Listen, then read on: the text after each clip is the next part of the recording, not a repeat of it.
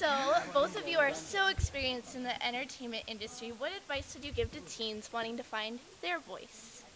Teens, man, they need to keep me away from from teens. Uh, you go ahead. Let me think about that. Oh man, um, I think you know, for me, I've learned that it really is just about um, finding what is unique about you and and really focusing on that. And so I think that's what makes you a great artist. You know, is to figure out what that thing is that sets you apart and and to, yeah, yeah. you like that? Teens are intimidating, aren't they? They are. I don't. like- I don't know about teens. No, I'm just kidding. getting in the music industry, you mean, or just teens in general? Teens in general, trying to find their own. Oh Their own man, I- voice. you know what? I, I kind of I went on. I don't know why. Well, I know why, but I'm gonna tell you. But I went on a Twitter rampage today about for for teens to try to you know just kind of figure things out on their own, read and learn as much as they can, and when they watch the news, be sure they watch all the news channels, and because everybody has an agenda and a and an affiliation of some sort, and just try to take it every bit of it you can in, and and figure stuff out for yourself. You know, and don't rely on people to just tell you how it is. You you figure out how it is, and and then I started drinking again. and so You've won The Voice numerous times. What tricks do you have up your sleeve that we haven't already seen? What are the secrets that you hold? cheating.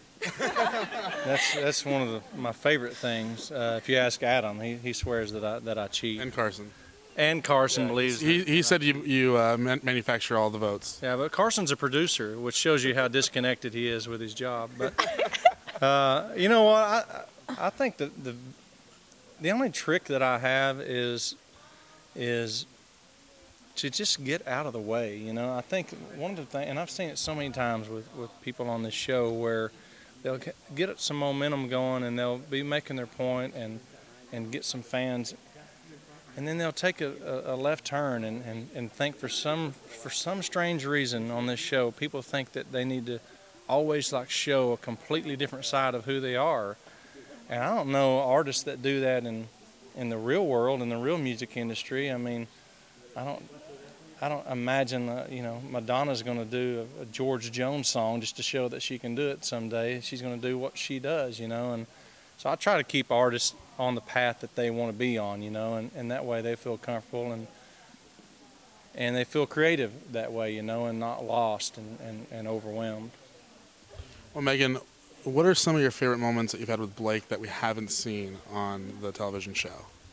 Oh man. Or Um, funniest? funniest, Or drunkest? drunkest, oof, Or highest. or highest. I wasn't going to go there. Yeah. yeah. I mean, he just keeps Um, pushing it, so go along no, with it. you- Yeah, yeah, yeah. Do you have a good answer for this? I feel like Well, you know what? They don't. ki- Man, there's very few times there's not a.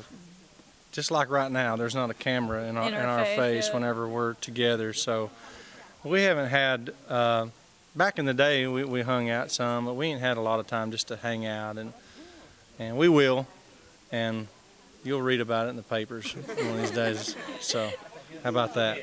Last question. How's your coaching style now that you're just down to, to one? Uh, it's just stand back and, and let her shine. You know, I think the best thing you can do with, with someone like Meghan is just give her her space and let her have her moment and and support her. And if there's something going on in a song that's that you kind of go, well, maybe you ought to think about that. But usually you, there's not even that with with Meghan. It's just she's got good instincts. She knows what she's wanting to do and who she is and best thing I can do is just acknowledge that and, and, and let her have that freedom in that moment, you know.